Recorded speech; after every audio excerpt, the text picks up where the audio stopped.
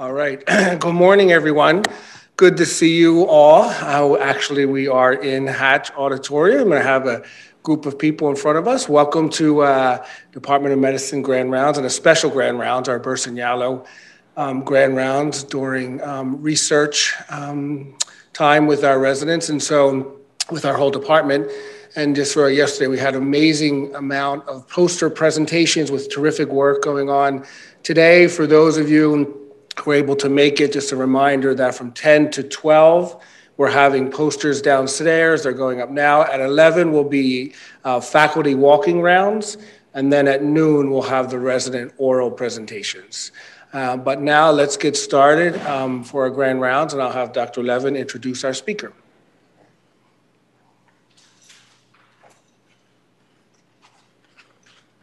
Thank you, Dr. Thomas. Good morning, everyone. Welcome to Research Day and Grand Round Research Day.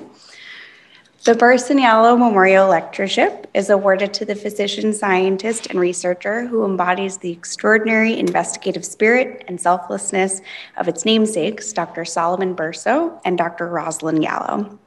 Doctors Berson and Yalow helped develop a number of groundbreaking antigen assays for various hormones, including insulin, parathyroid hormone, ACTH, and growth hormones.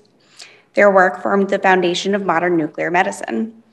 And it should be noted that neither scientist patented these processes nor profited commercially from them. And Dr. Berson actually served as chair of the Department of Medicine at Mount Sinai Hospital. And in 1990, or 1977, I should say, Dr. Yalow received the Nobel Prize for their joint work, um, as it was after Dr. Berson's passing at that time. Today, we're joined by Dr. Roxana Mehran as the recipient of our Burson Yalow Memorial Lectureship Award, which I will be able to show you in person today, not with a Zoom background. So, Dr. Mehran is the endowed Mount Sinai professor in cardiovascular clinical research and outcomes, a professor of medicine and population health science and policy at the Icahn School of Medicine at Mount Sinai. She's an internationally renowned interventional cardiologist and clinical research expert in the field of cardiovascular disease. She has built a globally respected academic research center focusing on developing randomized clinical trials and has served as principal investigator for numerous global studies, developed risk scores for bleeding and acute kidney injury, participates regularly in developing clinical guidelines, and has authored over 1,300 peer reviewed articles. Dr. Mehran is a current member of the American College of Cardiology Board of Trustees and has been included for six consecutive years as one of the world's most influential scientific minds and top 1% most cited researchers. It is truly our pleasure to be joined by Dr. Mehran today. Thank you so much.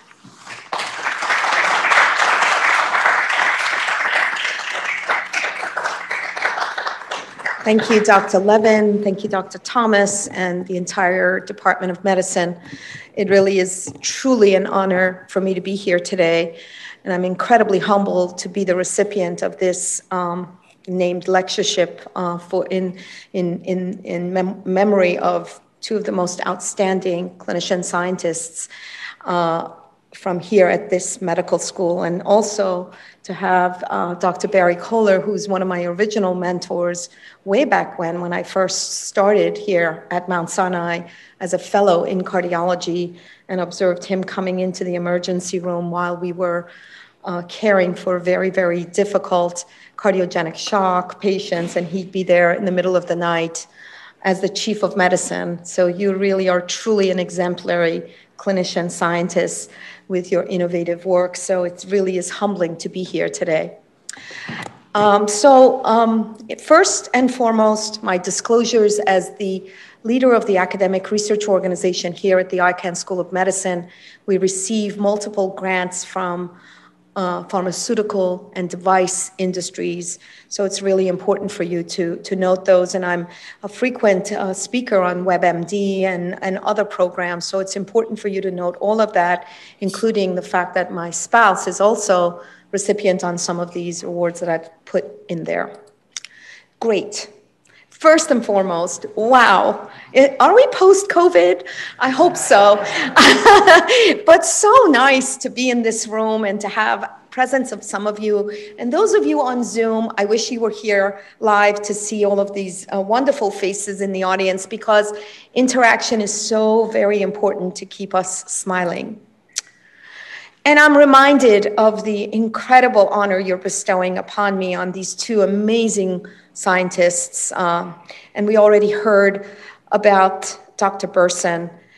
Um, true father of radioimmunoassay, but most important, the founding chairman of the Department of Medicine here at Mount Sinai and the director of Mount Sinai Hospital from 1967 until his sudden death in 72, and then of his incredible wife, who I think is for sure the mother of endocrinology, the second woman, first American born woman to be awarded the Nobel Prize in Physiology and Medicine in 1977. So, for all of us women who think we can't, yes, we can. It's possible. And uh, of course, she um, uh, rewarded her husband as well for developing this radioimmunoassay techniques that we just heard about from Dr. Levin. And I think what's most important is that she has she became after joining here in the Department of Medicine as a research professor, she became the Solomon Berson Distinguished Professor at Large. And I think those are just incredible. And for me to be part of this, um, I'm hoping you're here in this room hearing us and smiling upon us. Okay, so let's turn into why I'm here. I'm here to say academic medicine is very much alive, and that we absolutely, in order to improve human health, must have the basis of both research and clinical care, teach the next generation so we can improve human health. Those are the pillars of academic medicine, and in this institution, it's alive and well. And I really believe that most of you in training should absolutely be thinking about building an academic career that will distinguish you from your peers. Why? Why should I do this? I'm busy enough. I already have so many epic charts to deal with, patients to see, etc. Well, these are the reasons.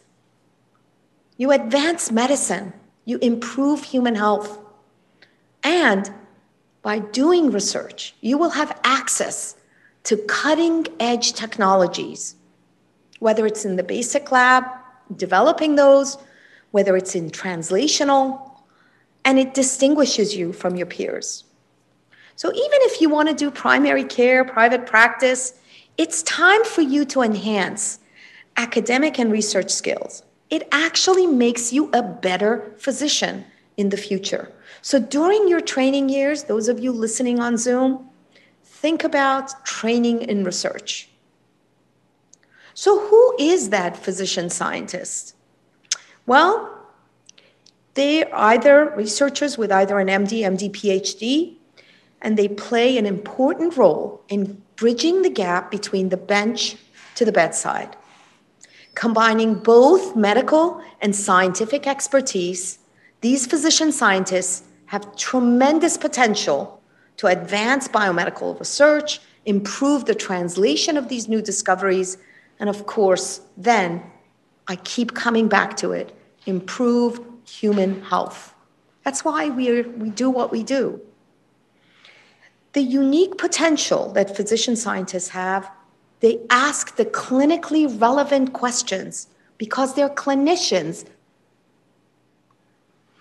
in the research setting and they bring that rigorous scientific inquiry to the care of the patient. What, how much better could that get? So, why? Why again? Why should I become a physician scientist? First of all, it will make you and completely um, enroll you in lifelong learning there's incredible diverse activities in clinical research disciplines, intellectual independence and autonomy that you will gain as a physician scientist is compared to none. The public service that you will give to your patients, the mentorship that you will give to the next generation, and the incredible societal need that we currently have. In fact, the New York Times had this very important article just before the pandemic. It's in everyone's benefit if physicians participate in research. And boy, did we learn that. No stronger reminder than in the COVID 19 pandemic, where science came to life and helped improve and save lives. It was the clinician scientists who came together, collaborated, and made sure that we found answers to the unknown, something completely unknown, in record time to save lives. We would not be here if it weren't for clinician scientists coming together, collaborating, thinking outside of the box, and solving the very, very difficult Pandora's box of COVID 19. But let me begin to tell you that clinical evidence generation has transformed over the years. I started out when it was very, very interesting, placebo controlled, some maybe confounded observational trials, a little bit about the product performance, et cetera, with a single hypothesis and a static answer. And we're still in that era of now comparative effectiveness, some consolidated randomized clinical trials that we absolutely have put as the gold standard. And now we're looking at some of the patient centered and patient outcomes that are incredibly important. But where we're going in the future is very, very different and exciting. We're going to be much more pragmatic. We have electronic health records that can inform us and get us real evidence in real time. The economic value becomes very, very important, and the digital world is going to be very much incorporated, not just in extracting information, allowing us to get real evidence in real time for our patients. It is also very important to note that the wearables now become very much a part of the fabric of how we do research. And in fact, the future is just so bright in terms of never losing a patient, oh, lost to follow up because of the way we are connecting with our technologies. So, this entire understanding of the healthcare system, this continuous update and the Bayesian learning has be, is going to become where we go in the future. I believe it's very, very exciting. The medical research spectrum now is tremendous. It's so exciting basic science, preclinical research, linking with clinical and population health sciences, and then implementation science and research becomes incredibly important. What good is it if we develop something from the bench to the bedside, but we're not able to implement it to a population? What good is it if we actually study patients that are white males and we have patients who are women underrepresented minorities, and these things don't connect. But today, the spectrum becomes wider, much more exciting. And basic science research is how you can start this journey. And I'll tell you that's how I started, believe it or not. Because the application and the applied science, the basic science is the roots of how we grow and become who we are. The work that Dr. Barry Coller did in his laboratory back in Stony Brook saved lives in helping patients with acute coronary syndromes and ST segment elevation MI when he cloned the, the um, glycoprotein 2B3A receptor and its inhibition of that receptor that saved so many lives. Isn't it incredible? That legend is sitting right here in front of us. And it started in laboratories that he was leading and, and we applied that science to a population at large, and we now think differently about how we treat our patients with STEMI and non STEMI. The translation of this work is how we're able to bring forth everything we learn in the lab to our patients. This is a circular, continuous feedback mechanism. It doesn't stop when you go from the bench to the bedside because the bedside then teaches the bench to do other things, to innovate more. So it really is a feedback mechanism that continues to enhance human health. I'll keep saying human health. And clinical research is tremendous. We start in the discovery zone with preclinical trials, and we make sure that we've got it right before we go into that phase one, first in man study. We shouldn't call it first in man, we should say first in human, because there are women also, first in women.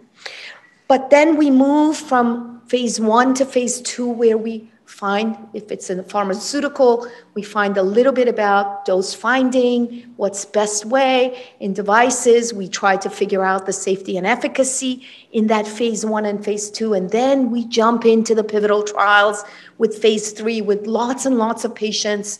And then we go for approval. This is how we get devices and drugs approved through the system here in the United States. And I put it here FDA, but in European or uh, Asian, it's obviously the regulators. As a physician scientist, you can be involved in all of those. And that's exciting. And you can be a part of solving the problem of helping human uh, improve human health and saving lives. So, how did I find my niche? It all started actually very much close and personal here at Mount Sinai. I don't know how many of you recognize some of these faces on here. Isn't Dr. Fuster look? but, but before we get to Dr. Fuster, as an internal medicine resident, I spent a year in the basic scientific laboratories of Dr. Barbara Ehrlich.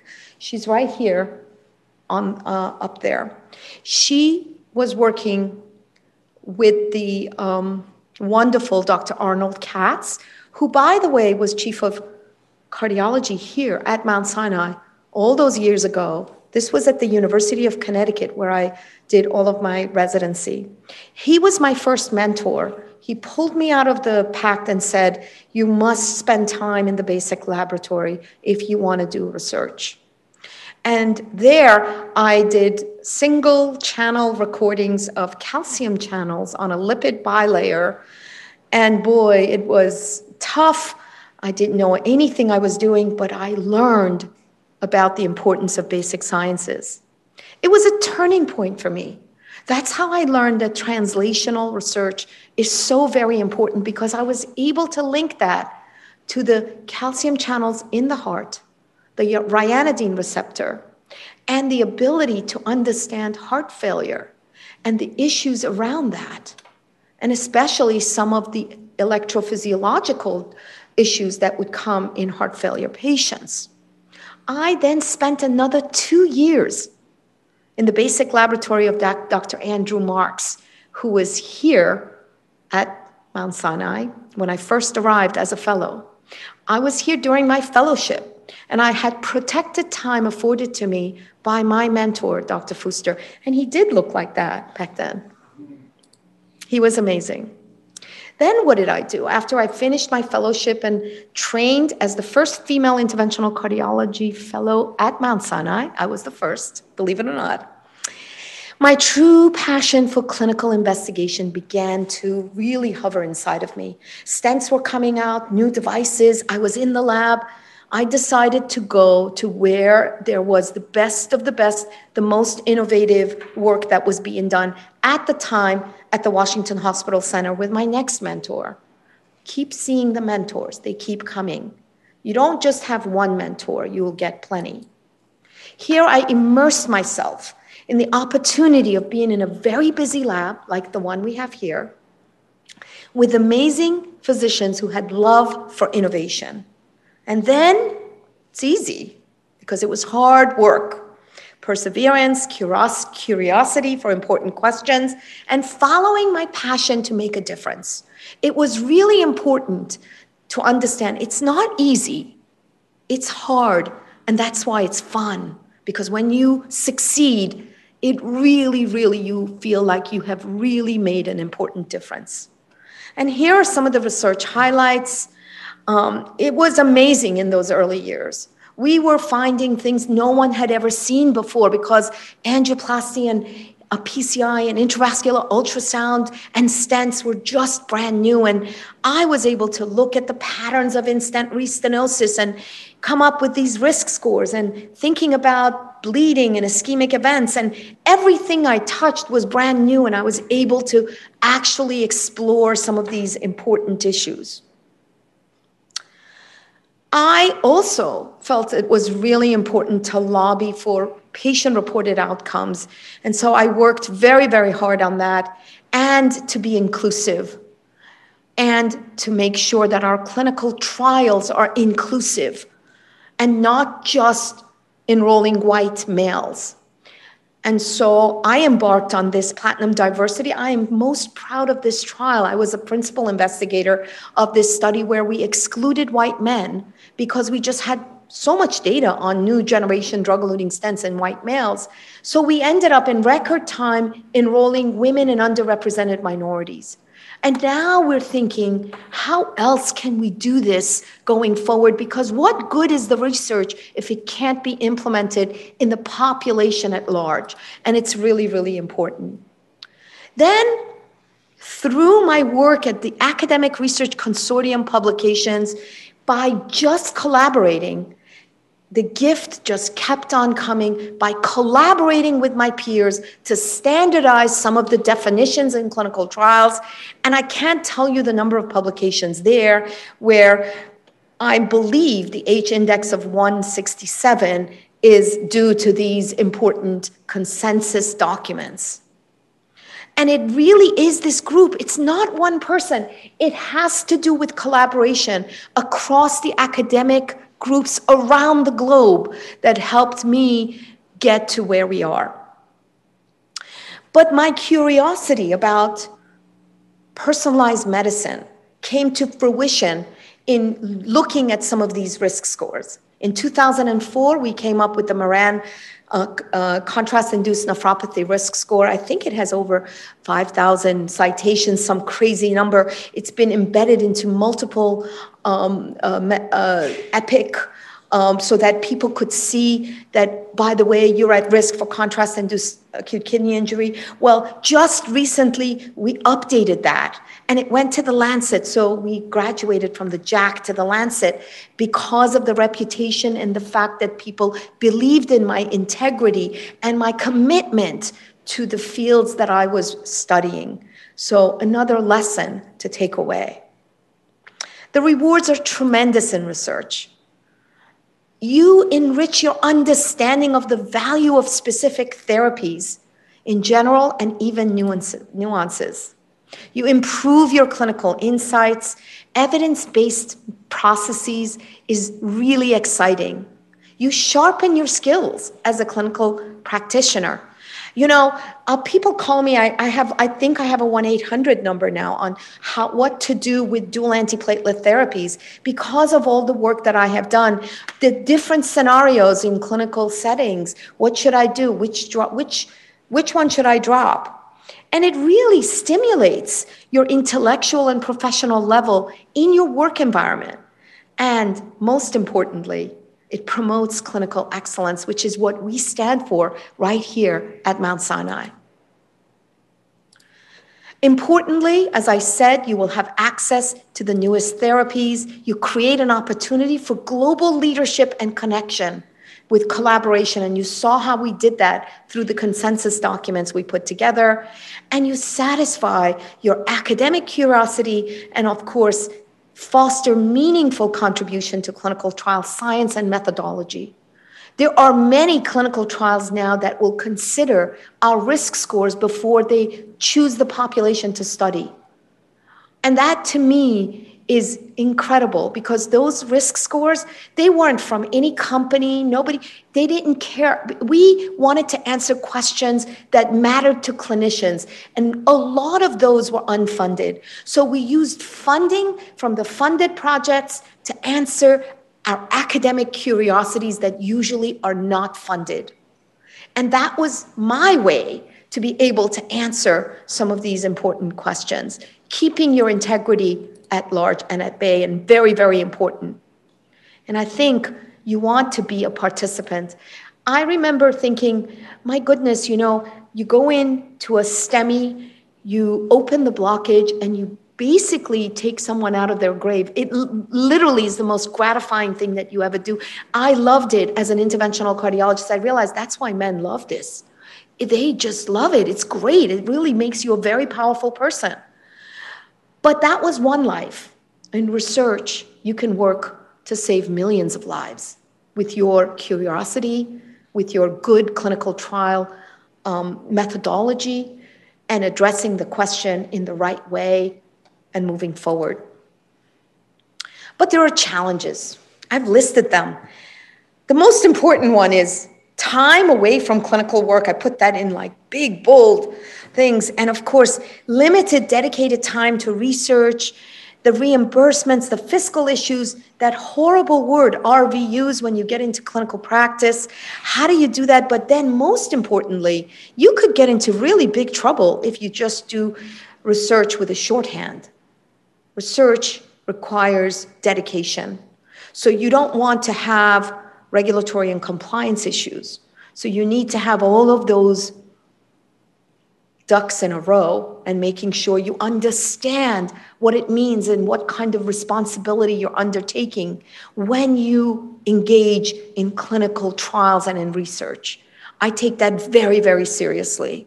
In fact, those are the most robust groups that I have put together in terms of oversight of regulatory, compliance, and safety for the patients that we study. The major challenge of funding, especially governmental, is tremendous, and we've seen that, how difficult it is. But there's good news because if you get on a training grant, if you actually are upfront about it, you could get there, especially if you're a first time researcher the, any of you who are interested, please come to me and I will help you. I will help connect you because we have an entire population health group with a very, very good connection with the NIH and to get you on these training grants. But I want to go over some of the five key points to success and why I think it's really important. The first one is time management. And I this is what I do. Every day I have a day planner and I start with a list because if I don't have the list, I just can't. I put little boxes and I hope that I can check those boxes by the end of the day. I often don't. And I start my day early, one or two hours before clinical duties, and you have to set deadlines and meet those deadlines. Uh, and it's very, very important. And everyone in my team knows uh, that targeting uh, our abstract submissions and really, really going after our, our uh, presentations and then turning them into papers is very, very important and of utmost priority. All of us have the same hours of day. We can't stretch it. I've tried. It just, they're only 24 hours, but you need to be efficient and productive. And whatever that takes in your own style, think about it and move it in that direction. You have to find uninterrupted time, not just because you needed to like get through an abstract or a publication, but to think outside of the box, to answer questions that are unanswered. You need time to think about those. You know, Bill Gates goes away every whatever many um, uh, uh, every month or so. He takes a week where he goes and he thinks about what are the problems? And I think we all need some uninterrupted time. That is a very, very important one. And I always say, many come to me and they say, Well, can I spend a couple of hours a week? And I always say, Really, if you really want to do this, you need to train, you need to be here, you need to be part of us, you need to rate, learn this. And to me, two months of uninterrupted time is great. I took two years in the laboratory during my fellowship. And that work life balance is ever so important now. I see both men and women. I hate that women were stigmatized for family life at home. We now see that there are great men coming in the next generation that also want to be home with their families. And that work life balance is essential essential to keep. And uh, of course, our mental health and our well being, very, very important. Find a mentor. If you don't have one, if you're not getting advice, you're missing out. And you have every opportunity. It could even be a colleague. It doesn't have to be some chief who has no time for you. Do it early in your career, whether it's in your residency or fellowship. It helps you for the research path. And that a good role model for you could be that mentor, but it doesn't have to be. It doesn't have to be. Remember that mentorship is a give and take, it's a two sided lane. It's not just about asking for things, it's also about giving. And that's really important that they are protecting you, advising you, motivating you. And it could be, I mean, I can tell you, I have about 50 mentors not one or two. I learn from my um, trainees. They mentor me on certain things that I have no idea, especially with the current technologies. So there is no limit to the number of mentors you can have. The relationship can last a lifetime, and I can tell you that I have lifetime, for my lifetime, mentors. I can't underline the importance of your passion and interest. Work in an area that interests you. Don't force yourself to work on something because, oh, the opportunity is great. I'm going to write some papers, but I hate the topic. That just will never work for a lifetime change and a lifetime commitment for your career. Pursuing that topic and the passion that you have for that topic will drive you, will make you wake up early a couple of hours a day. It'll really, really, everything else kind of works out when you are excited about what you're doing. And engage yourself in one project that's easy, first, first off, and one project that's more challenging so that you could have understanding of success and failures. Remember, this is not a trajectory that goes like this. The slope could look like this, but there are ups and downs. All throughout the years, I can't tell you the number of falls that I've had, really bad ones. And I just kept getting up. Be flexible, read, and stay focused. It has to be a way of your life. It has to be in your fabric. You have to think about it. Be open to criticisms. I have been criticized all the time, and I think with each criticism, I build myself to the next level and being better. Learn from your mistakes and don't let rejections discourage you. I was just rejected just yesterday on some position that I was looking at. It happens. And it's good because now I'll go into the next one with a, with a new way forward. You can never stop learning. Read, read, read, write, write, write, and then read some more and write some more. That is the way you will go forward. That first paper is the hardest one. The next one gets a little bit easier. And then all of a sudden, it just comes out of your fingers like the pen just moves across the, the it's incredible how it works once you get it going. Set your goals and then reassess and evaluate yourself at the end of each year. Maybe it could be every six months etc i can't underline the importance of cooperation and collaboration. I believe my success and the fact that i have now um, connections around the world is because of the collaborate, collaborative uh, way that I proceed with research. No task in research can be accomplished without collaboration. And I think it's so important to reach out in other institutions, other parts of the world, and understand the cultural, if we're going to make an impact on the global burden of cardiovascular disease, for example, which is what I care about, we have to collaborate with our colleagues across the globe. And if I had advice to my younger self, I wish that I had this now, like back then, um, you can do it. I kept saying that to myself, but I would be like, so, oh no, this is impossible. I want to be a mother. I want to have children. This will never happen. I'll have to be like, and I, am married with three children, as you all might know.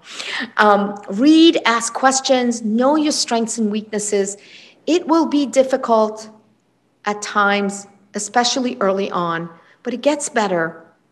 And the way you make it better is if I wish someone could tell me that, that in stress, there are sweet spots. And if you look for them, you will find them. And take advice, but think independently. Your, your mentor will say things to you that may or may not make sense, but you have to think independently, and maybe you will fail from that, but you will learn. You will learn from your failures. And time is the most important asset. Don't waste your time. So, can you do be a clinician and a researcher at the same time? I think it definitely is. Take a look what we have at Mount Sinai. Absolutely, and they're all here. Some of them are right here in this room. So it's absolutely possible. My research work, and I want to introduce you to our Center for Interventional Cardiovascular Research and Clinical Trials. We are running academics, biometrics, research operations. We work very, very closely with our own cath lab. We have a lot of interests in antiplatelet therapies, contrast-induced acute kidney injury, TAVR and antithrombotic regimens, risk stratification, and very importantly now on cardiovascular disease in women. We've done several landmark studies with major, major, major publications that are listed here. And I really have to tell you that I'm most proud of this Mount Sinai PCI database that Dr. Sharma put together. And we now have made it completely digital. No one extracts, no human extracts data. There is no human error. We programmed everything from Epic to feed into this database, and we have long term follow up. So we are ahead of the game. We were able to do this by answering questions that mattered and publications like this one. And you'll see today, um, Franz will present uh, the Twilight CABG sub-study. This particular trial is already given us changed the guidelines, the guidelines, the US guidelines and the European guidelines. What better satisfaction can you have to do answer a simple question of dropping aspirin with the dual antiplatelet therapies in a double blind placebo controlled trial than to actually make a difference in how clinicians then treat patients because we will save bleeding without ischemic complications. And we showed that and it changed the guidelines. We have a 2A recommendation, should be considered. And with the help of our collaboration across the globe and um, faculty here at Mount Sinai, Dr. Dangas, and colleagues were able to answer questions on antithrombotic therapies after TAVR. And we still don't have it right. And we were able to answer those questions with New England Journal publications. We're very, very proud. We're small academic research organization, but we make big impact. It's exciting. And we just published this in the Lancet, this contemporary new risk score and of course, I was given the honor of leading a commission for the Lancet to reduce the global burden of cardiovascular disease in women. My goodness, I just was like, really? Me? I was having imposter syndrome. Why me? Well, yes, because of everything I just showed you because I'll get it done and I'll make sure that it's out there. And we showed this with senior commissioners and commissioners across the globe, and we were able to deliver that. We have amazing research scholars from all over the world. And Johnny Nicholas is joining you guys. How exciting! And he's here with us. He's been one of the most prolific uh, research uh, fellows that I've had. He's an incoming internal medicine resident. And what a great opportunity for internal medicine residents to come through our organization and to have the ability to publish, to learn research methodology, not publish just in small throwaway journals. Franz has a Nature Medicine. It's like just next to the Lancet and many, many more. And we have some of the most incredible, incredible brilliant, brilliant internal medicine residents. How lucky are we here at Mount Sinai with such brilliant minds? And I'm so glad that you're exposing yourselves to the next level. And our cardiology fellows now are finding their way, coming through and working with us. And many of them were residents here with you all. So please think about research as a way to build your career to the next level, to improve human health. And please reach out to me, those of you on Zoom who are not here, anyone who wants, who's interested to learn and to work with us, our doors are open and we would embrace you. Final thoughts? Research is incredibly rewarding if you are committed and enthusiastic. I haven't stopped my enthusiasm. I can't wait for the next trial I'm designing. And remember one thing I love these two quotes strive not to be of success, but of value. That's from Albert Einstein. And then I think the woman who's taught me so much, reading all of her amazing work, she says, Maya Angelou, do the best you can until you know better. And when you know better, do better. And that's what we need to do in our research, in our clinical care for our patients, in our inclusivity and diversity to improve human health. And we'll can do it as physician, clinicians, scientists. I hope you will join us. Thank you so much for your attention.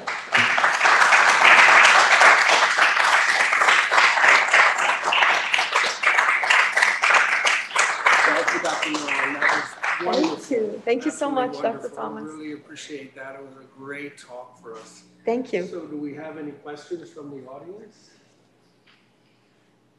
I hope there are tons of questions. We're going to get into Zoom and, and, uh, we're working on it now. Yeah, that's good. Any questions from anyone? Yes. How do you learn about, you know, like trial design, like that takes a lot of effort and stuff? Very good question. I, I wish I had more time. Uh, I learned it on the on the street, but I would say, I would say, if you're interested, train in clinical trial methodology. And Mount Sinai, right here, there's a fantastic program for Masters of Public Health and Masters of Biostatistics. You learn research methodology. The time is afforded to you. Johnny just is, will be graduating. He, he took on the advice to train because when you train and you have those credentials, when you speak, people in the room will listen to you. I often saw that the people who had their uh, you know, MPH or Masters of Biostatistics, even though they weren't really saying anything that was that much more amazing, they were listened to more so than me who didn't have that. So I would say, and it was hard to learn it, um, you know, by doing. I think it's really important to train and then um, uh, and train early, so that you could start thinking like a clinical trialist. It really will help you. Any other questions? Anyone? Please feel free.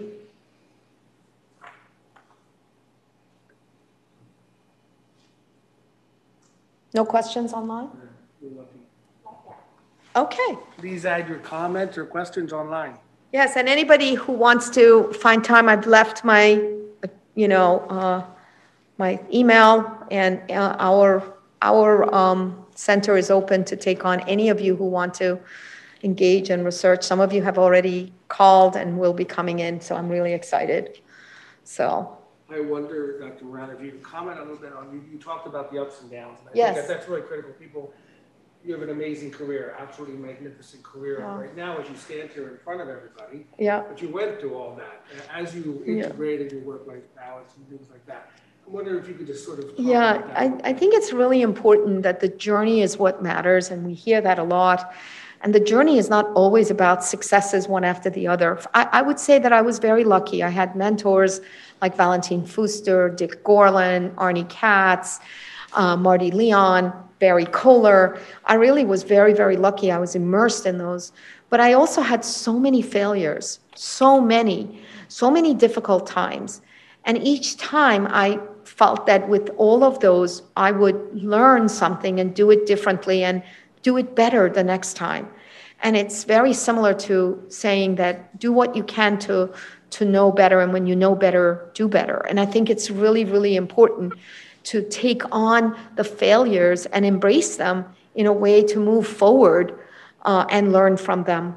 And I really believe, and, and many will tell you that uh, the journey is has a lot of ups and downs.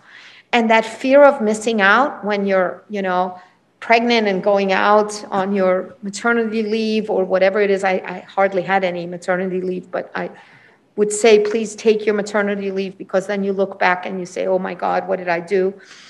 Um, it's really, really important, the fear of missing out, to push that aside and to really embrace your daily um, journey and your daily activities in a way that how you could learn and grow from it.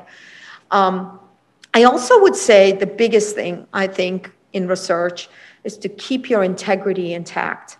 It's incredibly important to be absolutely honest. And sometimes in my honesty, I have lost people who would want to fund my projects because they wouldn't like that I would speak the truth and I would be very open. I'm not endorsing, um, you know, false truths. I would never do that. And so, what was great about the work that I have done is that everything can repeat itself and every one of these risk scores, because when you're honest in your work and when others repeat your work, they will find the same results.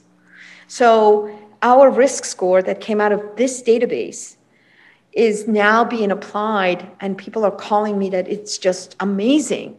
I said, well, yeah, it's easy if you're honest and you just you don't want to get a result that looks good this first time and you know fudging the result to make it look good. That's a very very short-lived win. A true win is to come out when your trial is negative and be open about it and then design the next one and see how you could do better. Because then people will believe in you and work and understand what you're doing is absolutely correct. Pretty much everything that I have done has been replicated with exactly the same results. And that makes me feel so good that people don't refute what, what we do and what we have published in the past. And I think that part of it is really, really enlightening for me because at the end of the day, we all have to sleep well at night. So honest, keep honest. Don't do shortcuts. Don't be, don't be misled by the great ways of maybe winning one small thing by not being completely honest. You have to be 100% honest in your research and in your work and completely dedicated.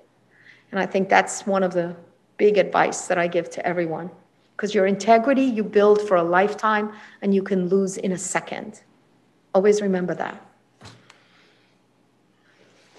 I ask a question? Yes, please. Hi, Roxana. This is uh, Isaac Sachmechi. I'm chief of endocrinology at the Queen's Hospital Center. We are affiliated with Sinai. I wanted to tell you that there is some disparities also in research. You know, it depends which location really you are to get the support of the administration really in research. You know, I started this maybe 15 years ago, uh, having clinical research in Diabetes Center of Excellence. I didn't get much help from the institution. I had to bring grants uh, to get in touch with pharmaceutical companies for phase three and phase four studies and work very hard and extra times of my time that I can get zero from it to build up a very good diabetes center of excellence that has also clinical research. So if the affiliates really get the support of Sinai in, in that term, that would be very helpful with, uh, for affiliated uh, institution to Mount Sinai really to advance that. I have one clinical research uh, coordinator that I bring her salary from these grants and I'm trying to get help because I'm running now seven or eight studies currently, and the administration not helping me at all in getting really research assistance. I, I think your question is about the importance of institutional support in enhancing and improving and, and building a research career. I mean, I think, you know, um, yes, uh, obviously it's great to have tremendous institutional support, but you can understand that um, institutional support usually is connected to government NIH funding where the, the institution does get support from the NIH to support you. And I think it is difficult when you're doing industry work to get the kind of institutional support that you absolutely need. And I've often struggled with that as well. But I have overcome those struggles by just working harder and, and building uh, important um, teams and being able to um, continue. I agree if you have institutional support for the work that you're doing that's meaningful um, and especially um, protected time, all of those things are difficult to gain for everybody because someone has to take care of the patients and the bills and the lights have to be paid and all of those things. So I, I agree, it's a big, big challenge. And I'm sure that the new chief of medicine who's coming here will be, um, will be dealing with some of those important challenges. Um, but, but I also think that there is a fine line between how much your institution can support you and also what are you doing to make sure you could support your research, your protected time that then uh, allows you to have uh, that. It's very, very difficult. I, I agree. And it's a very, very good question. It's a dilemma that we will all be facing if we're not given that kind of support, uh, especially to the talented uh, physicians who are committed to this. So thank you for your question. Thank you.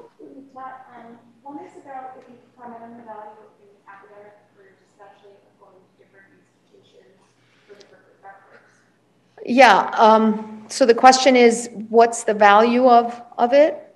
Yeah, about um, going elsewhere for different places. Yeah. So really, really good question. Is it good to kind of leave and come back and that kind of thing? Well, I did. I left. Uh, I um, it was hard to leave, you know, but you leave Mount Sinai, but it never leaves you. Look, Dr. Coller is back here. so it never leaves you. You kind of come back because it feels like home. I think, uh, you know, it's the Mount, right? And, and so you come back uh, you come back. But uh, and we all come back, and we're all connected to this institution. It's such an incredible institution, and we have such great bond. And isn't that great? But it also is good to leave and to learn. Um, from other perspectives. And I felt that at that time, for me, it was best to go where the innovative scientific work was being done in terms of the subspecialty that I was interested in.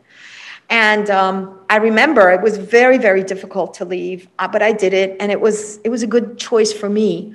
So it's not always like that, but it always is nice to go and see other institutions. And in leaving, I got to because I followed my mentor, I got to be in four different institutions. So we started at the Washington Hospital Center, then Lenox Hill, then Columbia. So I got to see how these institutions also run uh, with clinical studies as well as clinical care. And I gained tremendous insights because it's so very different. And then I was recruited back here, back home to Mount Sinai. So to me, I feel that I have um, a great depth and breadth of understanding different institutions, different academic arenas. I think it's a good thing. It's a great question. We have one more. One more question. Um, what do you think are the critical steps to translate your basic research work into clinical research? Oh, great. What are the critical steps of translating basic science research into, um, into clinical trials to patients? So that is really a very, very important. I believe that those are the most fertile grounds that unfortunately we haven't been cultivating. We need to cultivate translational research in a way that is unparalleled in this institution, just like others are doing like we see it at Stanford, we see it at other institutions, and we're doing that here too, especially in different arenas. Translating the, the what's going on at the bench, bringing it to the bedside takes a village. It means that you have to have those important collaborations and understanding and meeting together so you exchange ideas and you feed it back and forth to each other and then designing and understanding if something is going on at the bedside. And I can show you what, what happened right here in this institution. When rapamycin, uh, which is the, the drug that is used on the coated stents, it was developed right here in this lab when we were injecting it in pigs up here in Annenberg 24 or 21, whatever it was, where I was uh, working with Juan Badimon and his team, and there was a, a gentleman here from Canada, Richard Gallo. He was doing this work. I think you were here, Dr. Coller, as the chief of medicine and we were seeing like oh my god there's no restenosis when these in these injury models.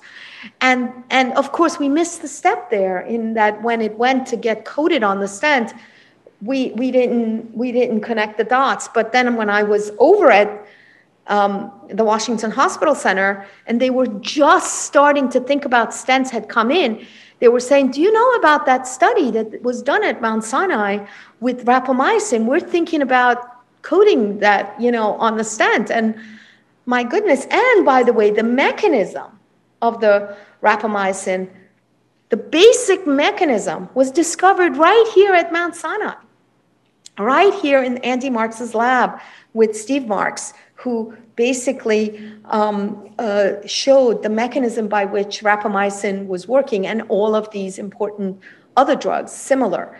And that's where we are today. That is the perfect example of how translating from basic science to clinical science could make an incredible difference. And that's what exactly happened.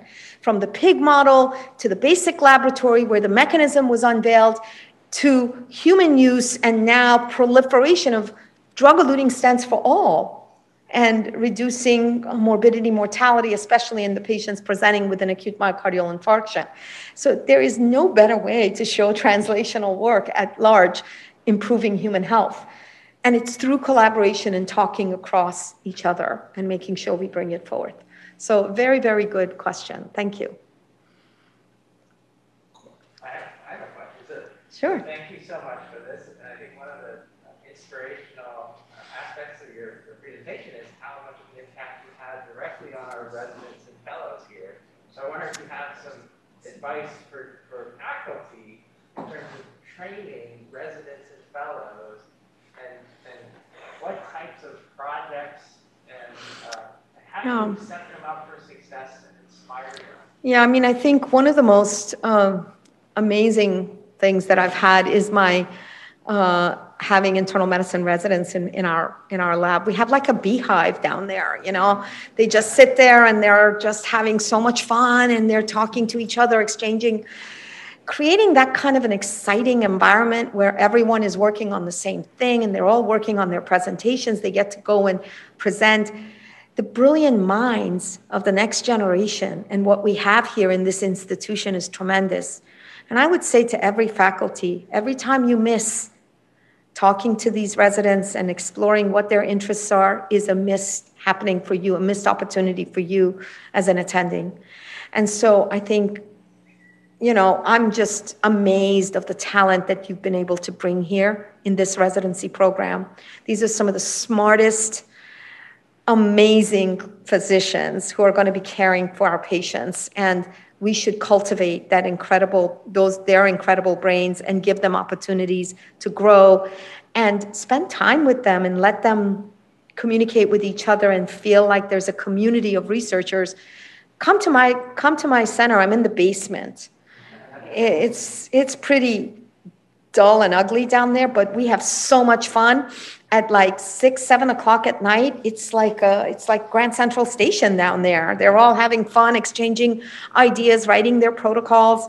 I haven't been more inspired than than than that, and that is through through the program. So thank you for giving them the opportunity to work with me. And I do agree that we have the most amazing residents. You and do. I invite you all to come today to poster session to see all the That's amazing right. work that they do. Excellent. And then to our uh, noon session. And so with that, I want to thank everyone for coming, really thank Dr. Mehran for Thank showing us you.